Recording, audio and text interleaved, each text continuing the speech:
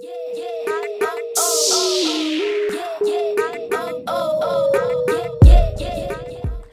boys and girls, it's Tonya Emm and welcome back to my channel. If you are new here, don't forget to hit that subscribe button and then hit the notification bell so you'll be notified anytime I upload new videos. Before I get into this wig review, I just want to let you guys know that I did start my own beauty brand called Eleven11 Beauty. Right now we're featuring 100% real 3D and 5D mink lashes. The pair I'm wearing now are called Delilah. I will put the link in the description box so you can click and make your purchase. So today's unit I'm reviewing is by Red Carpet Premiere. It's part of the Mane Concept brand and it is the HD transparent lace front wig in the style Haezel and I have her in a color one.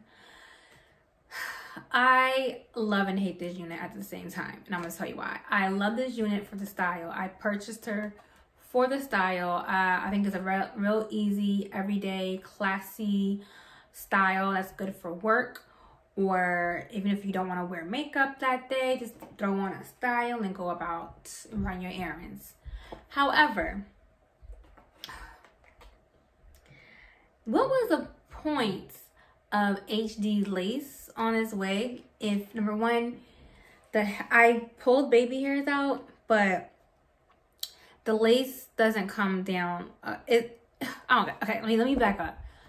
HD lace is for like, for me, in my opinion, when you have HD lace, you are looking for a really like high style, fashionable, red carpet type hair or red carpet type wear where it's undetectable because the style is flawless. You want the hair to look like your hair so everything else is gonna be in the package. So HD lace, you're gonna have small knots. Um, just the lace is gonna be enough lace for you to conceal your own hairline, all of that. This has nothing. Um, the, the knots are huge. I don't even get close. I know y'all can see them knots. Look at them knots. There's like five hairs per knot. And the lace stops like right back. It stops back here. And I have a small head. I have a, like a, like a 21 circumference head. And it stops about way behind my hairline. So anybody with a big head, this is not for you, okay?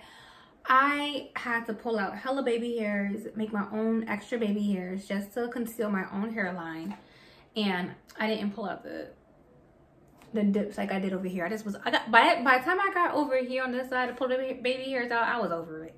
I was like, no, this is not um, something that I feel like I can make it into my own wig, which is fine because there are wigs like this. This is very inexpensive. They just really should have saved the HD for a wig that had had pulled all the stops out, like 13 by 6, small knots, uh, pre-plucked. It wasn't pre-plucked at all.